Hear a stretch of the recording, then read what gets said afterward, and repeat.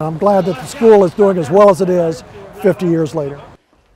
Well, that's uh, how the uh, San Antonian High School graduate, at least one of them, describes walking the halls he knew well back in 1968.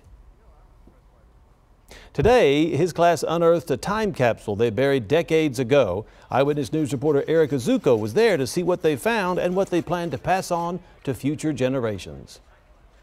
From the classrooms to the teachers to the lesson plans, the class of 1968 says a lot has changed here over the years, but they say there are some things time couldn't touch. Back in these halls 50 years later, it all floods back for these former Antonian Apaches. I remember one year. Antonian College Prep High School looks a lot different these days. Tremendous amount of changes. Leonard Rastrelli and John Montfort are just two of the graduates who say they've seen the world change, and Antonian with it. We converted from an all-boys school to a co-ed school. Rastrelli says he graduated with more than a diploma. Integrity, ethics, spirituality. Cornerstones of the man he says he's become, giving him strength, like the actual cornerstone they filled with a time capsule years ago.